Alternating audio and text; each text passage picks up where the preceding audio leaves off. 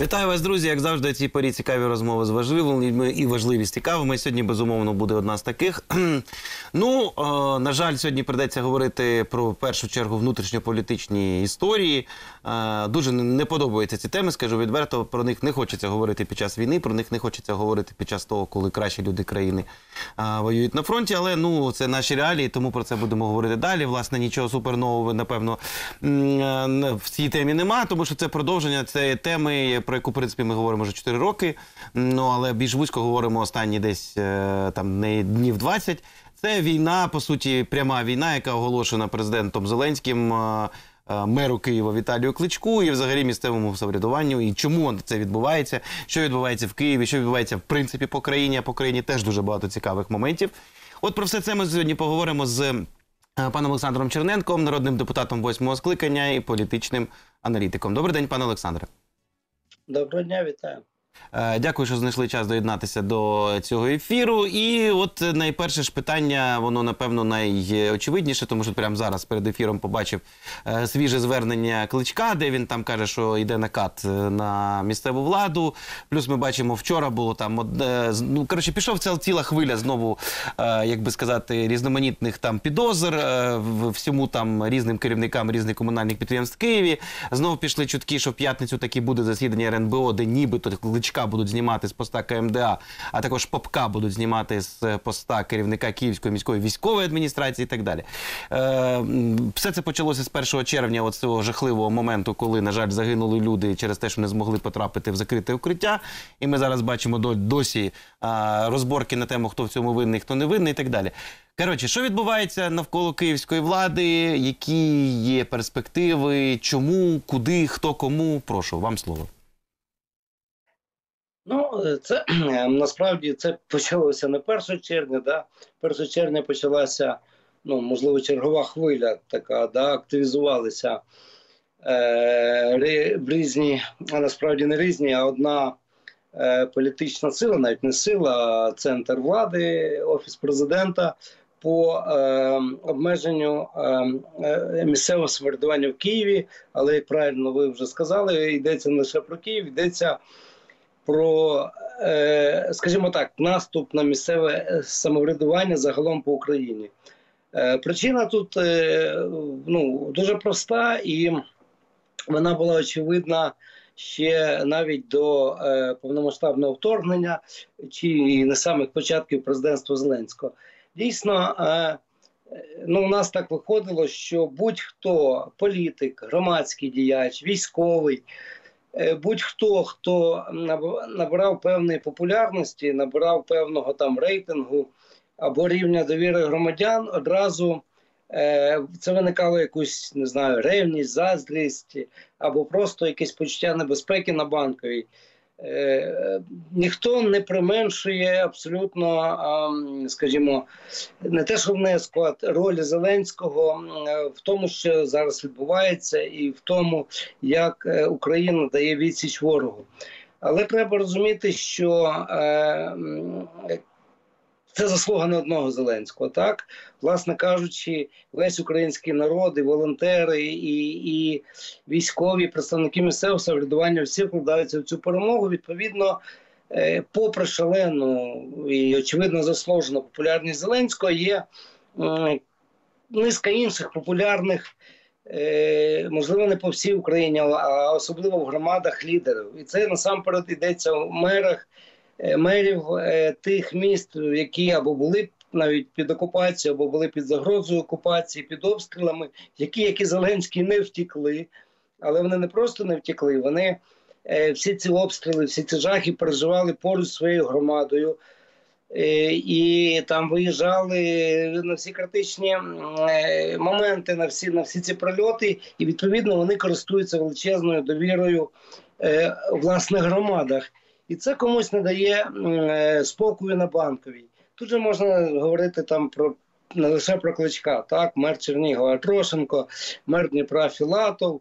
Навіть е, ну там я зараз е, не кажу про особистості, але навіть там Труханов в Одесі чи Терехов в Харкові, попри там певну одіозність цих людей, але вони дійсно користуються довірою цієї громади. Ну а в випадку з кличком це ще Київ е, це Київ з його бюджетом. Це Київ, це столиця, яку будь-яка влада і навіть до Зеленського намагалися контролювати.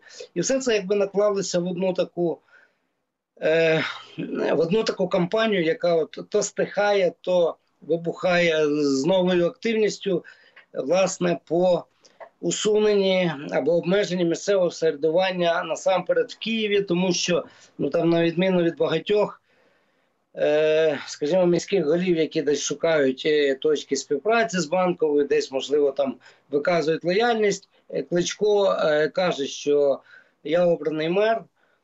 Я зі своєю громадою, я налаштований на конструктив, але я не хочу бути крайнім, особливо там, де е, це, це, це не заслужено.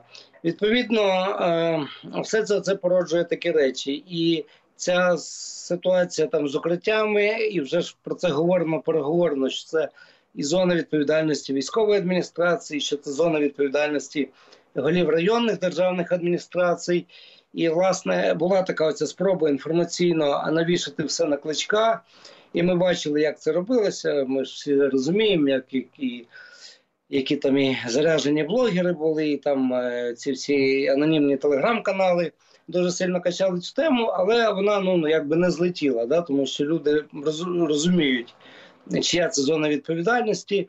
І відповідно теж людей не обдуриш. Вони е, розуміють, що цю трагедію так е, вона була використана і, і далі використовується власне з політичною метою.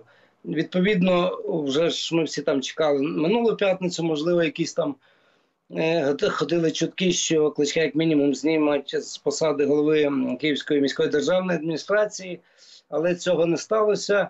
Е, ну там є низка причин можливо, про це теж поговоримо. Але е, це не означає, що на банковій, ну скажімо так, вирішили там здатись і так далі. І так далі. Я думаю, що ці компанії по дискредитації кличка там інших мерів вони далі будуть продовжуватися. Е, ну, власне, е, наскільки я розумію е, із того, що писали мої колеги, то в принципі з самого початку, коли після цього всього трагічного випадку з ем, загиблими людьми е, була установка. Ну, я просто нагадаю людям, е, якщо ви раптом забули, то в принципі історія про звільнення кличка з поста КМДА вже десь на моїй пам'яті четвертий раз піднімається. Перший раз була, коли ще був головою офісу президента Андрій Богдан. е, Потім це було десь в 2021 році раз, в 2021 році два, потім третій раз це вже було під час війни. І от тепер ми маємо вже а навіть п'ятий чи четвертий. Ну коротше, дуже багато разів. Кожного разу в останній момент е, влада Зеленського гальмувала, тому що взагалі то нагадаю, згідно рішення Конституційного суду 2001 року, в принципі, розділення посади мера і посади голови КМДА неможливе. І це правильно. Я просто нагадаю знову ж таки, що в принципі ще не з часів Леоніда Кучма, який заклав по суті спеціально отаку бомбу уповільненої дії в е, управління Києвом. Тобто, грубо кажучи, нібито Київ це ж у нас окрема адміністративно-територіальна одиниця. Правильно, значить, тут має бути ну от як голова нік, некої ОДА. Обласної державної адміністрації, яка призначається президентом. З іншого боку, виходить якась діч, тому що Київ це ж місто, де обирається мер. І відповідно, от така історія, що у нас ніби в Києві є КМДА, яка є нібито президентська вертикаль, але є мер, який обирається на президентських абсолютно ой, на пробачте, на на звичайних мерських виборах. І виходить, що ну повна дікуха. Тобто кияни вибирають собі мера, але виходить, що президент е, може призначити когось іншого і по суті забрати у обраного мера майже ну не всю, але дуже велику кількість якихось адміністративних повноважень. І тому Конституційний суд ще в 2001 році прийняв рішення, що розділення цих посад неправильне, неможливе. І тому там по різних причинах це розділення, от зараз поки що Зеленський на це не йде. Але і оце я зараз до пана Черненка хочу спитати, що. Ну от зараз ходить вже весь червень, ходять дуже вперті чутки, що нібито вони вже навіть підбирали, е, був підібраний кандидат на той пост, е, який, про який ми говоримо. Що нібито мав бути звільнений Кличко, мав бути звільнений Попко, тому що він не влаштовує за рівнем, скажімо так, опозиційності до кличка е, офіс президента. І навіть називалося два прізвища. Називалося прізвище, ви зараз будете хапати за серце, друзі, Гайдая. Це той самий наш дуже балакучий е, екс-луганський очільник ОДА, людина, яку, от повірте, будь-яка людина, яка воювала на Луганському напрямку, при слові Гайдай, дуже сильно злиться. Ну, правда, тому що ця людина чотири рази брала Креміну, я нагадаю, чотири рази. Е, от, це та сама людина, яку хотіли призначити послом в Казахстан, і Казахстан відмовився його приймати в якості посла. А ще одним кандидатом нібито називали прізвище пана Камишина. Це людина, яка у нас очолює Мінстратехпром, який, якого пам'ятаєте, Банкова відправила з кличком перевіряти е, укриття. Але що то там не задалося, і Камишин в результаті м, перестав їздити. Але нібито така була інформація, що на минулому тижні і Гайдай, і Камишин відмовились очолювати КМДА, навіть якщо буде звільнений кличко. І нібито у Зеленського зараз знаходяться в гарячковому пошуку, а кого ж туди можна призначити. І от у мене виникає питання: чи не знаєте ви якісь ще прізвища, які можуть бути? А по-друге, от окей, уявімо, кличка звільнили. Призначають якогось угодного Зеленському керівника. КМДА, ну по суті, КМВА, тому що закон про воєнний стан, відповідно, у нас голова всього це голова КМВА. І що далі буде відбуватися з управлінням в місті, враховуючи, що в Київраді більшість все одно належить кличку. То що буде далі відбуватися? От мені дуже цікава ваша оцінка як досвідченого політичного аналітика. Ну, власне, я так само е, чув цю версію. Я думаю, вона абсолютно відповідає дійсності, що не не відбулося цього зміщення кличка з посади КМДА минулу п'ятницю, що ну, не, не, знайшли, не знайшли охочі кандидатури, які би погодилися на, на цю посаду. І, і я розумію, чому. Давайте так, почнемо з того, що дійсно, як ви сказали, це антизаконно. Так, є закон про столицю, який каже, що обраний голова е, е, міський, він е, одночасно є головою Київської міської державної адміністрації. Є рішення Конституційного суду, абсолютно про яке було згадане, яке про це говорить. Тобто будь-яке призначення іншої особи, незважаючи там на воєнний стан, так далі, і так далі, якщо не кличка на цю посаду, це ну скажімо так, на даний момент, поки не буде іншого рішення Конституційного суду і поки не буде змінений закон про столицю, воно незаконне. І я розумію, що там на банковій вони особливо такими речами давно не переймаються. В них там політична доцільність, вона завжди йде попереду будь-якої правової, скажімо, е, чистоти. А, але ж ну знову ж ну та людина, яка погодиться, вона очолити цю посаду. Вона, хоч і не вона буде підписувати указ, так указ буде підписувати Зеленський, але вона апріорі розуміє, що її призначення є незаконним, воно буде оскаржуватись і так далі. і так далі.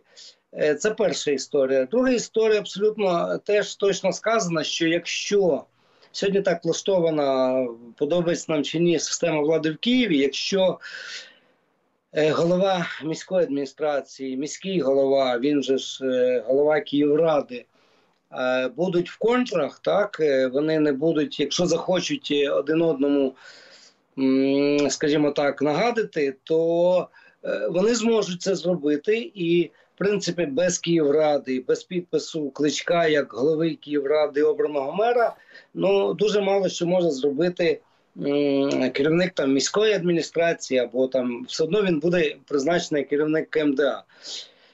Е, Це ми бачимо, до речі, от зараз на цьому ем, конфлікті міської влади з головами районних адміністрацій. Це все якби не сприяє нормальній роботі організації, е, е, скажімо так, організації влади в Києві.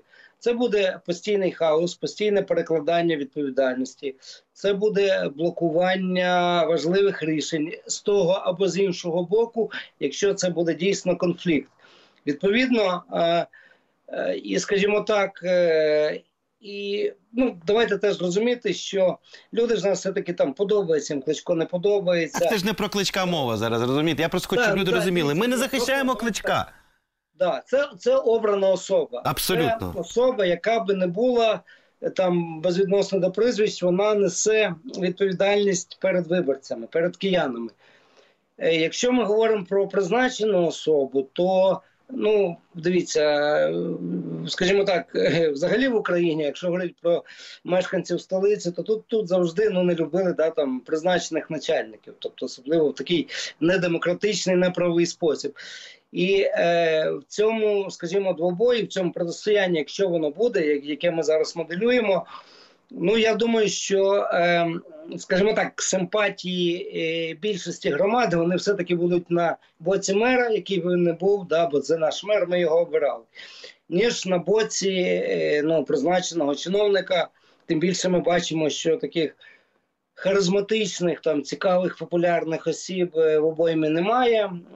Хто б це не був, це все одно громадська думка, вона.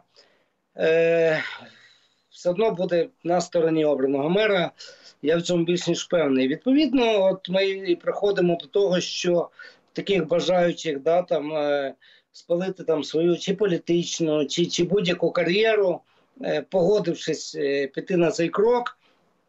Е, е, ну, в обоймі на банковій, хоч там повна лояльність, там повний там культ особи Зеленського, але тим не менше, навіть в цих умовах вони вже там гарячково шукають заміну, і, точніше, не заміну, а бажаючого е, і не можуть знайти. Бо нагадаю, навіть е, керівники військової адміністрації Велика я забув, прізвище, хто був до Попка. Е, там, ну, там генерал якийсь, я забув теж. Так, так, генерал був, потім Попко. Вони, хоч і були призначені безпосередньо Зеленським, вони, ну давайте так, особливо попередній голова міського, вони повністю конструктивно співпрацювали з міською владою, тому що особливо тоді, коли ворог стояв під Києвом і було там не до політики, і е, вони, ну скажімо так, так само Попко, ви правильно сказали, він. Е, попри там постійні там накази з банкової наганяє, він ну не створив інший центр впливу. Він не створив серйозну е, конкуренцію кличку насамперед там публічної площині. І я думаю, хто хто б не був наступний, це буде та сама історія. Або вони хочуть, щоб в Києві господарство функціонувало і мешканці були задоволені. Тоді має бути співпраця з Київрадою, з Київміським головою. Або якщо вони йдуть в конфлікт, то Е, це точно не на, не на користь Києву, не на користь киянам, і це, ну скажімо, е, в майбутньому е, для, для цієї людини може мати наслідки. І от, власне, в цьому мені здається, є причина того, що немає сьогодні. Принаймні, от не обговорюється зараз прізвищ, хто хто готовий піти на цей е, на цю посаду. Е, Ну, отак от. Ну, я, до речі, нагадаю, що взагалі-то у нас, е, як казав колись колишній мер е, міста Суми Геннадій Мінаєв, е, моя улюблена фраза, яка описує українську політику. Минають часи, минають президенти, минають епохи, а фраза залишається все, все так само актуальною. Пам'ятаєте, він тоді казав таку фразу, що у мене тут е, колізія, у мене підпис десь і підпис десь. Е, Да. Да, це геніальна фраза, і вона тут насправді опять же дуже добре описує, що зараз відбувається в Києві, тому що ви просто зацініть ступінь маразму, який зараз є. Тобто, у нас формально є КМДА, яку очолює Кличко, правильно, да? Але у нас є КМВА, тобто військова адміністрація, створена президентом України. Згідно закону про воєнний стан. е, Про військовий стан, да, то відповідно головою все одно є не голова КМДА, головою КМВА. І в структурі КМВА як голова КМДА. Кличко є заступником голови КМВА. Тобто, виходить, я просто хочу це скласти в голові. Тобто, якщо, наприклад, умовно зміняють голову КМДА, то, то ну, просто це ж реально голова просто може вибухнути від, від всіх цих абревіатур, чесно кажучи. Ну, це, це дійсно є велика проблема. Е, Дивіться, в нас, от, е, наприклад, там голови обласних військових адміністрацій, це бувші голови державних обласних адміністрацій. Там все зрозуміло. Є область, в області є громади, в громадах є обрані мери, але є е, керівник, який там відповідає, да, координує їх роботу, відповідає там за безпекові оборонні питання в області. І тут в нього там є співпраця з місцевим самоврядуванням, але він не підміняє собою е, голова там обласної міської військової адміністрації. Він не підміняє собою місцеве самоврядування. Так є е, голови міських е, військових адміністрацій, а це лише там.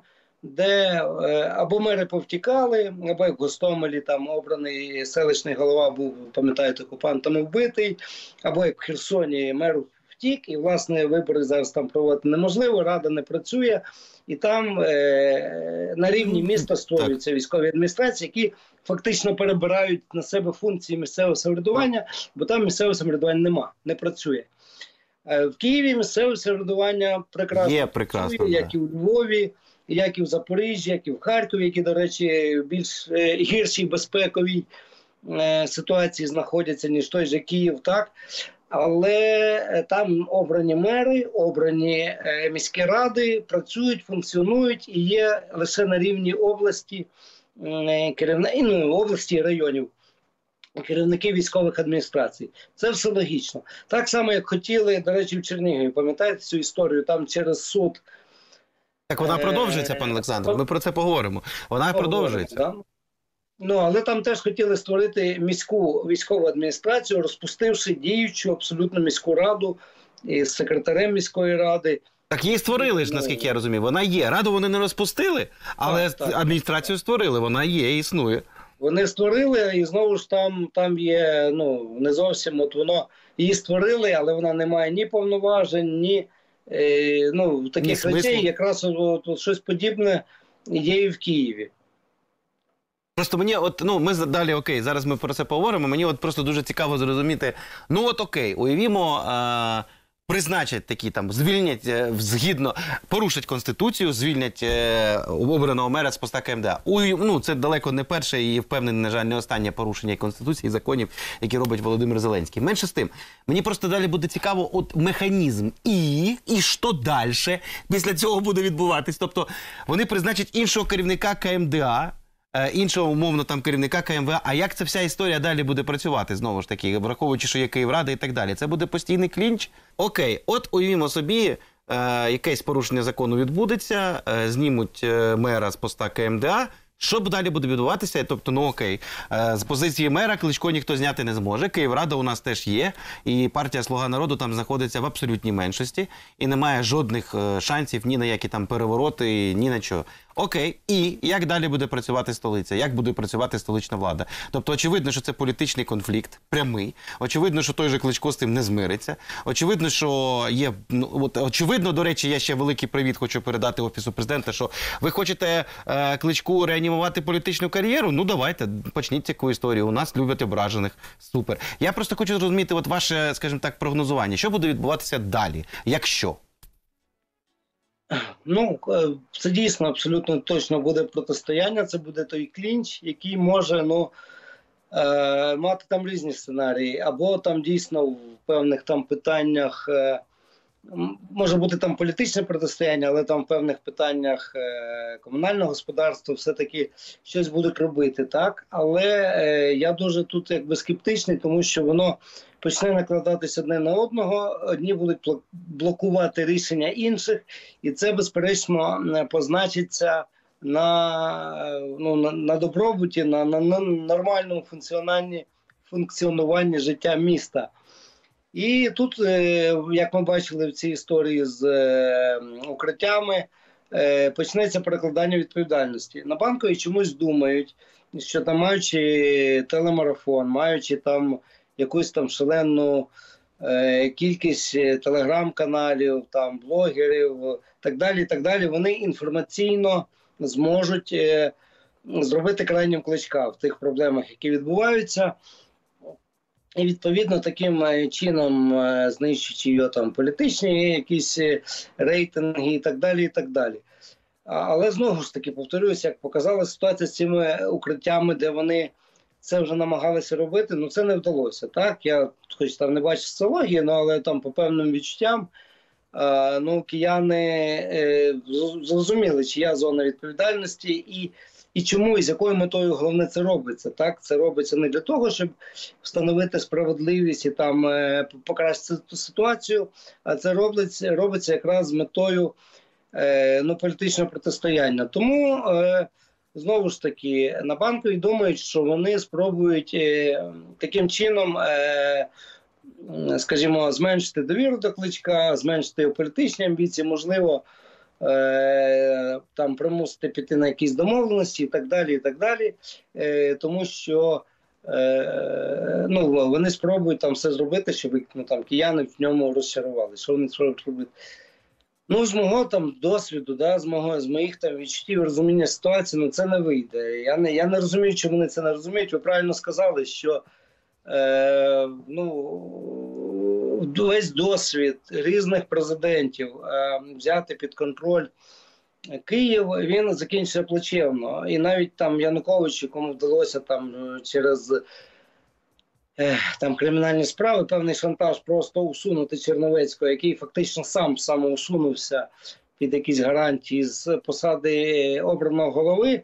Ну і віддав е, крісло КМДА е, призначеному Попову. Ми пам'ятаємо, чим це закінчилося е, для Попова, і коли Та власне, Попов в Київраді він сидить, все у нього хорошо. Ні, ну все в нього хорошо, але ну але це, це, це не означає, що він він там е, це якраз був майдан і багато таких речей. Добре, що він в останні дні майдану. Пам'ятаєте, в останні дні майдану він зрозумів, куди це все хилиться, і, і, і відмовився виконувати там самі абсурдні ем, е, вказівки банкової, і це його, ну це його можна сказати так, врятувало так е, від подаю, хоч і були там кримінальні справи, але він вчасно, вчасно спригнув. Е, Тому е, і так, і так по всій історії, да, там пам'ятаєте війну Кучми з Омельченком і так далі. і так далі. Ніколи е, такими всіми способами центральна влада їй не вдавалося е, переламати ситуацію в Києві е, на свою користь, коли вона е, почина, починала конфлікти з, з обраними міськими головами, і тут знову ж е, дійсно йдеться не про прізвища, так? Йдеться про те, що самоврядування воно й тому само, так? Що громада через обраних осіб, е, подобається вона їм чи ні, вона все-таки вирішує, як їй краще жити. Тому, тому я тут не бачу нічого хорошого, якщо ситуація буде переломана через коліно, нічого хорошого ні для киян, е, ні для е, цього призначеного, м, як ми його назвемо, да, там особи е, на цю посаду, ні для самих е, мешканців банкової.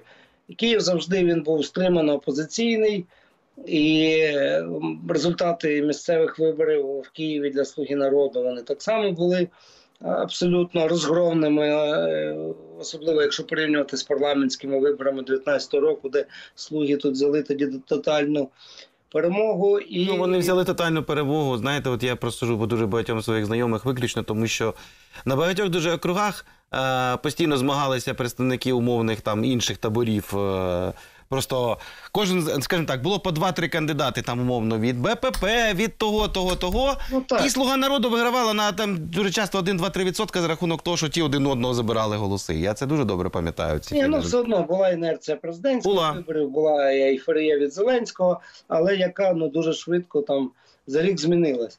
І відповідно, якщо Зеленський хоче, ну скажімо так, мати якісь там політичні перспективи для своєї політичної сили в Києві, ну він, він не повинен цього робити. Але комусь, ну там же ж там такі технології, які в них в них там давно, знаєте, це окруження від успіху. Вони думають, що вони там всіх переконають, всіх, всіх е, намахають. Ну, ну просто треба і, і іноді їм там нагадувати результати місцевих виборів. 19-го року, що не так це все просто. При тому, що Зеленський залишається в тому числі і в Києві ну там найбільш там популярним політиком, кандидатом президенти, але е, люди дуже чітко там розрізняють, да, де це Зеленський як е, особлення там українського спротиву, так це як верховний головнокомандуючий, і відповідно тут є е, його підтримка. А де президентський політик, е, е, який от ну.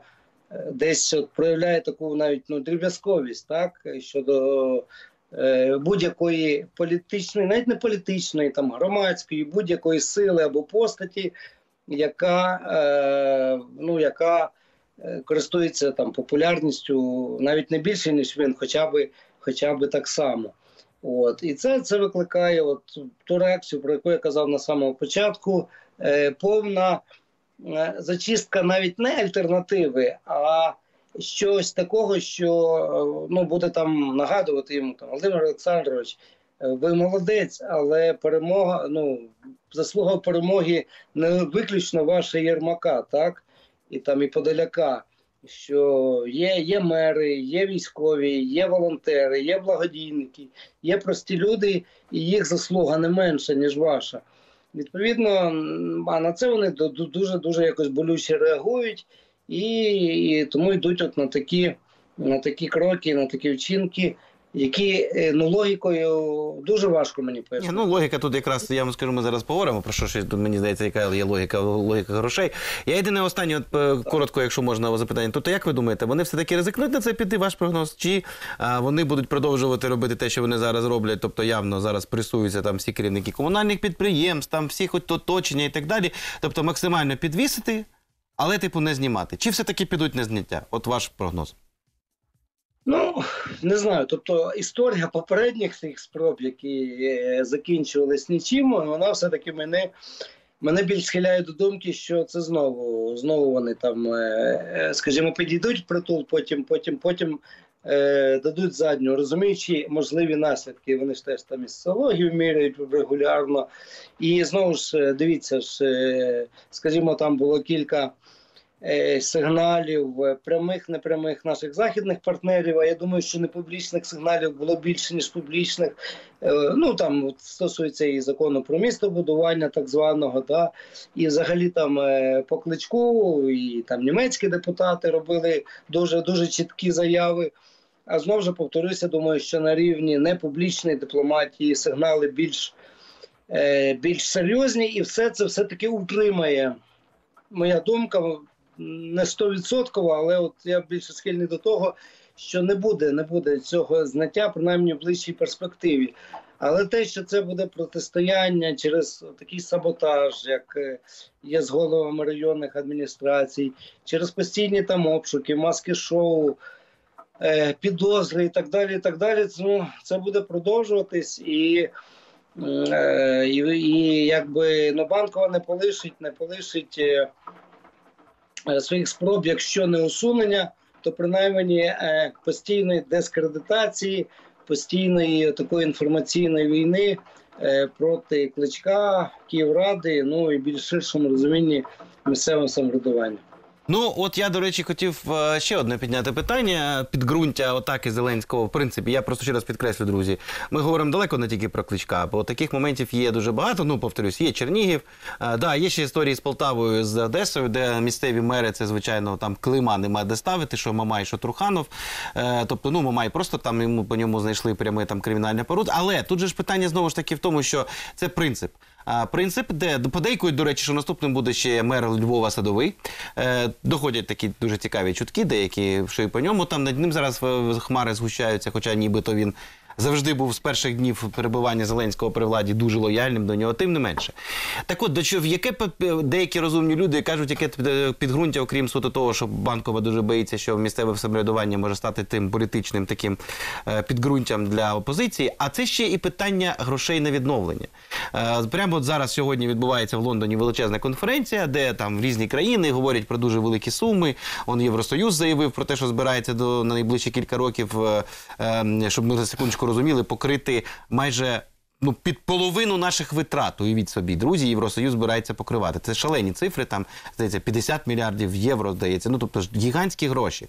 Але дуже цікавий момент. Уже до цього було дві конференції по так званим принципам відновлення, яке буде відбуватися. Так от дуже цікаво, що наші західні донори, наші західні партнери прямим текстом говорять, що основний масив грошей буде йти аж ніяк не через якісь київські великі там офіси, не через створені спеціально під це там міністерство пана Кубракова, не через офіс президента, не через якісь там агенції, а напряму через співпрацю з місцевим самоврядуванням. От як, наприклад, зараз в Харкові відбувається і багато де в інших місцях.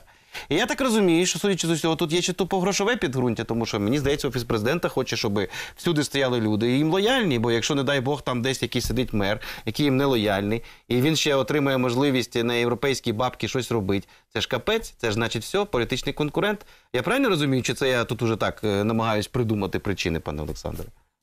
Ні, це абсолютно точно. Ви дивіться, в нас е, пам'ятаєте, ще е, е, е, ворог стояв під Києвом, так, ворог стояв під Черніговом, а вже по телемарафону йшли е, ролики про відбудову, так, Мгм, що там відбудуємо і так далі, і так далі. Тому що ну, це, це якби. най- ну, ще знаєте, там часів великого так званого будівництва це ну, дуже там власний шматок і для піару, і власне не лише для піару, а для серйозних е, корупційних можливих схем, е, які ну, ця влада робить найкраще. Е, І відповідно тут е, е, в цьому ключі я абсолютно з вами згоден, що е, е, банкова хоче банкова там уряд і оці, які сьогодні є довкола Зеленського, поплічники максимально централізувати ці фінансові потоки і е, центри прийняття рішень по, по відбудові забрати собі. І тут не лише оці там конфлікти з мером. Хоча пам'ятаєте, коли перша така була конференція в Лугано, то мера Чернігова, він тоді ще був пов- повноважний міський голова Чернігова, просто туди не випустили. Тобто на конференції, де йтиметься про відбудову, в тому числі Чернігова, не, не пускають міського голову Чернігова, так? Бо, бо ну, ну це абсурдно виглядає. Ви маєте розуміти, що е, зараз е, дуже важливим питанням, яке українське суспільство має зрозуміти, що от коли вам говорять слово не на часі, що типу про це не треба говорити під час війни. Ну в 99% випадків це брехня. Тому що, на жаль, це ми там, знаєте, якась бульбашка активних людей, там думаємо про фронт, як їм ну, допомогти, як там донатити, як щось привезти, як там щось пролобіювати. А величезна кількість людей, які завжди тримаються ближче до влади при будь-якій владі. Давайте я буду об'єктивним, е, незалежності від особи президента. І знову ж таки, і звичайно, його оточення вже думає про те, що буде відбуватися після війни. Якщо ви думаєте, що у них це не на часі, ви дуже друзі сильно помиляєтесь. У них це не просто на часі, вони це роблять кожен божий день. О, пан Олександр знову з нами. Прошу передаю вам слово назад. Да. Е, да, я, я продовжу свою думку, що е, в цю логіку так само лягає оця ситуація з продавленням, попри там громадську думку, попри застереження західних партнерів, ситуація з цим законом, так званим про містобудування. 5655, так, да. е, Угу. Да, 55-56, 50-55. А власне, чому, чому так іде? Бо саме якщо цей закон буде підписаний президентом і не буде чинності, е, е, тоді ну власне дуже багато рішень про те, що, де, хто і як буде будувати, будуть приймати не громади через е, обраних своїх осіб, а власне. Це, це там містобудівна палата, яка буде під тим самим міністерством Кубракова. Відповідно, чому ну е, ця ж взагалі абсурдна ситуація з цим законом, який вже там кілька місяців, вже більше він е, ніби проголосований Верховною Радою. Півроку, пане Олександре. Він проголосований Півроку, в грудні, в грудні минулого року ще. Так, так, так, так. І не підписаний президентом, тому що тут президент на таке розтяжці. Він дійсно розуміє, що е, це абсолютно ну, непопулярний закон. Проти нього там виступили і мери, і архітектори, і петиція там злетіла за один день, набрала купу підписів. І вже в резолюції Європарламенту дуже чіткий є заклик не підписувати цей закон. І Зеленський на таке розтяжці, тому що він розуміє, що якщо він цей закон підпише, то те, про що ми говорили, ці, скажімо так, е, фінансові потоки на відбудову, вони і взагалі контроль над цими всіма процесами він переміститься в центр. От і власне в тому була логіка його прийняття і такого протискання. Але, е, але тоді він дійсно, ну скажімо так, ну, вони ж теж там міряють с- суспільні настрої і розуміють, що ну, цей закон не знайде підтримку. Але ну навіть якщо він заветує, так і цей закон не набуде чинності, вони чекає, шукатимуть якісь інші, інші, можливо, е, е, скажімо так, там зацепки, всякі лазейки, щоб ну там е, мери там і місцеві ради мінімально могли впливати на те, як буде відбуватися відбудова в їхніх громадах. Ну і це, і це звичайно абсурдно, ну але, е, але ми бачимо, ми бачимо, що е, зараз йде величезна там внутрішня боротьба, і те, що там був усунутий Кирило Тимошенко, абсолютно заслужено, як я вважаю. Але я думаю, що одна з багатьох причин була, що е, інші люди в оточенні президента якраз ці там теми з великою відбудовою, можливою, хочуть е, замкнути на собі. От і, і сюди ж лягає от абсолютно е, причини оцього, цього конфлікту і з місцевим самоврядуванням. Зрозумів. Е, ну, у мене власне питання. Тоді давайте спробуємо підсумувати всю цю нашу тему війни Зеленського з місцевим самоврядуванням в цілому. Е, Наскільки, як вам здається, це буде успішно? Тому що на даному етапі давайте так дивитися. Ну чи вдалося їм Чернігові по повному безпреділу відсторонити мера? Вдалося. Зараз зам мера вони відправили під стражу. Те, що вони його звинувачують за те, що він нібито купив за завищеними цінами трансформатор для місцевої ТЕС. Ну, це я вам раджу поцікавитись. Темою там теж повний безпреділ коїться.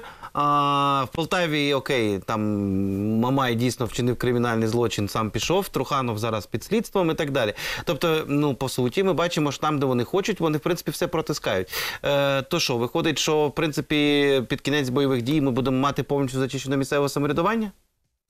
Ну, дивіться, все та не все. В тому ж Чернігові, хоч мера і, і, і позбавили повноважень, але діє рада, е, виконуючи обов'язки міського Ломако, голови, да. який, який має бути по закону секретар міської ради Ломако, а хоча ж хотіли їх розпустити, Хотіли. так, і раду, і відповідно взагалі за. Тобто е, сказати, що там все вдалося, то, ну, але цього тільки не зробили, власне, через ну, тиск суспільної думки, і ну бо це взагалі було ну дуже по безпреділу.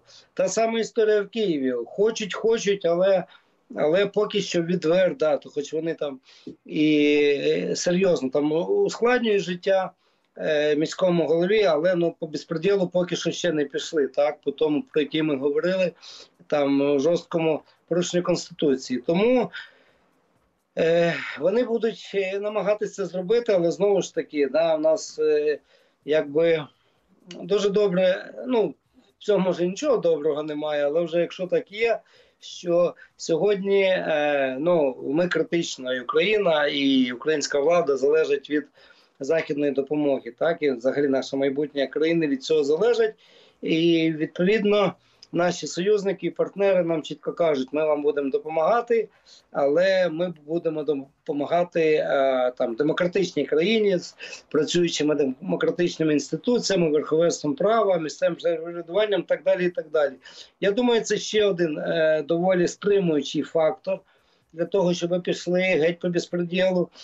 І, і власне, от і от, скажімо так, тиск е, е, внутрішнього громадянського суспільства, хоч на нього і менше вже зважають, е, в купі з, скажімо так, рекомендаціями наших партнерів і союзників, вони е, стримують владу від вже так відверто, абсолютно недемократичних і антидемократичних кроків. Ну от сподіваємося, от на, на такому от хиткому балансі ми будемо йти далі. Хоча, ну знову ж таки, ніхто ні від чого не, не застрахований. Ну, якась така да, цікава історія, що Запад нам поможе. Звісно, хотілося б. Хоча, до речі, на підтвердження слів пана Олександра, я зазначу, що взагалі-то. Ну, я особисто знаю, що було кілька зустрічей, е, скажімо так. Назвемо це так, послів J7 країн е, з паном президентом Зеленським, наприклад, з приводу ситуації і в Чернігові, і ситуації, і в Києві. Мало того, я з власних джерел, звичайно, не підтверджених, але тим не менше можу сказати, що навіть була така дуже цікава одна ситуація, коли на зустрічі, я не буду говорити посол якої країни це був, е, ну але це достатньо підтверджена інформація. Окей, ладно, не підтверджено, бо в мене ж нема запису відео від я то скажу, що я придумав. Ну, менше з тим. Е, Що нібито на зустрічі з Зеленським, Зеленський, коли от йому почали говорити, що ну що ви робите, що взагалі відбувається, він дістав а, такий, знаєте, стосик е, кримінальних справ. Ну, от кримінальних проваджень, папочок, да, грубо кажучи, де він почав казати: от дивіться, тут цей такий, а цей такий, а цей вкрав стільки, а цей от той, той, той, той, той. І е, одна з е, представниць однієї з країн каже, що, типу, шановний пане президенте, а на якій підставі у вас взагалі ці справи в руках? Ви взагалі хто? Ну тобто, ви прокурор, ви суддя, ви слідчий. Тобто, чому у людини, яка згідно конституції взагалі не очолює ні виконавчу, ні судову, ні законодавчу влади, Зеленський, е, як президент, нагадаю вам, друзі, очолює, е, скажімо так, зовнішньополітичний вектор і оборонний вектор, згідно, повторюся, Конституції України. І от він дістає ці справи, які взагалі-то не мають жодного права полишати кабінета слідчого. Ну, я не знаю, що там уже Зеленський відповів далі, але ну от за- що купив, за то продаю, що нібито така історія була. Але, чесно кажучи, ви впевнені, що це зупинить Зеленського? Я от чи далі тим більше дивлюся, Володимир Олександрович, це я ж кажу, знаєте, є два варіанти Зеленського. Є варіант Зеленський на, е- на експорт. Для світу, де він там лідер вільного світу, який там всіх рятує, е, фрідом. А є реальний Зеленський всередині країни. І ну, коли ці образи, вони так от, ці образи взагалі ніяк не, не б'ються, я би так сказав. От ви впевнені, що він послухає захід? Я, наприклад, майже впевнений, що навпаки Володимир Олександрович зовсім скоро почне розігрувати через там певні політичні сили історію про те, що проклятий Запад нас кинув, нічого нам не дав, а ми тут кров проливали. Чи це я надто песимістично? Да. Ну, от мені цікава ваша оцінка, як це все відбувається і відбуватиметься. Я нічого не чую. А, да, на жаль, пан Олександр знову у нас трошки пропав з ефіру, я так розумію. На жаль, зараз наші редактори його перенаберуть. А, ну, до доповнення тієї історії, яку я вам розказав, е, знову ж таки, ну скажімо так. Не хочеться вам чутки розказувати про дуже багато моментів, які, як мені розказують, є в спілкуванні пана Зеленського і його оточення з нашими західними союзниками. Я скажу тільки одне, що далеко та картинка, скажімо так, яку дуже часто дуже так вправно треба віддати належне офіс президента вкидає, вкидає в інформпростір, е, де все прекрасно, де Зеленський кращий друг всіх західних лідерів. Ну, реальність, е, тобто те, що відбувається за лаштунками, вона, м'яко кажучи, не дуже б'ється з тим, що є в реальності, е, тому що до Зеленського є величезна кількість питань. Е, Знову ж таки, Володимир Олександрович це людина, яка дуже багато чого обіцяла. Е, В першу чергу ми говоримо, звичайно, про наших американських союзників найбільших. Ну про те, що Володимир Олександрович Зеленський дуже багато речей обіцяв особисто президенту Джозефу Байдену ще до широкомасштабного вторгнення і не виконав їх. Ну про це я вам особисто розказував ще там в своїх е, відеороботах на цензорі і на шоу-бісиках ще здається до початку широкомасштабного вторгнення. Я просто до цього додам, що при цьому всьому треба не забувати, що в американській політичній культурі слово значить дуже багато. Все таки давайте не забувати, що ця країна виросла на такому здоровому протестантизмі, в тому, де дійсно слово дуже важливе. І те слово, яке ти дав. І іноді те знову ж таки, це навіть не тільки протестантизм, а скоріше, знаєте, ем, оце прецедентне право, е, яке дуже впливає на систему прийняття рішень, на систему мислення, де дане слово насправді вважається уже по суті законом. Е, І якщо ти, наприклад, дав слово і не виконав це, є підстава для, наприклад, британського чи американського суду вважати, що ти вчинив злочин. Е, тому от така історія. О, пан Олександр до нас нарешті повернувся, тому я передаю вам слово. Так от, якщо дуже коротко. А, ні, таки не повернувся, на жаль. Е, е, так от, е, тоді вже я закінчу з вашого дозволу. Тому я просто хочу сказати, що якщо в офісі президента сподіваються, що красиві фоточки, і коли там, наприклад, голова офісу президента Андрій Єрмак е, додумується сфоткати себе, де він на першому плані, а там десь там маленький Байден, десь там ззаду. Е, ну я не знаю на кого це розраховано, але я підкреслюю, захід це прекрасно бачить. Захід прекрасно розуміє всі ці процеси, які зараз відбуваються. Я підкреслю в кінці нашого ефіру, що е, мова зараз взагалі не йде про персоналі якихось конкретних мерів. Мова йде не про те, що там хтось когось буде захищати. Мова йде про те, що сьогодні мер Кличко, завтра буде ще якийсь мер, післязавтра ще якийсь. І е, будь-яка громада в нашій країні має право на те, щоб після того, як вона вільно зробила свій вибір, ніхто. Ніхто підкреслює з центральної влади не крав у неї цей вибір, тому що це є порушення, власне кажучи, тієї самої демократії. Чому виходить, що президент, якого теж обирають, він рівніший за мера, якого обирають в- теж більшістю голосів, але в цій громаді. На якій підставі це взагалі має відбуватися? Я в таких ситуаціях кажу: будуть вибори, робіть свій вибір. Вам хтось не подобається, не голосуйте за нього, голосуйте за когось іншого. Це в жодному разі не дає права нікому забирати у жодної громади і київської, і будь-якої іншої право на вибір. А те, що зараз відбувається, те, яким чином офіс президента себе поводить, говорить про те, що в черговий раз нас хочуть поламати через коліно. Ну на жаль, е, влада Володимира Олександровича Зеленського починалася з порушення конституції. Нагадаю про те, як були призначені ті самі позачергові парламентські вибори, завдяки яким, власне кажучи, він отримав монобільшість. І на жаль, вся ця історія продовжується і до сьогоднішнього дня. Тому закликаю всіх дуже чітко розуміти, що відбувається, і коли прийдуть наступні вибори, не забути всіх цих дій. Нікому, ні мерам, ні очільникам, нікому. Будьте злопам'ятними і розумними. Пам'ятайте, ніхто не має права забирати у вас ваш вибір. Дякую вам за розмову. Дякую за те, що були з нами. Побачимось, почуємось.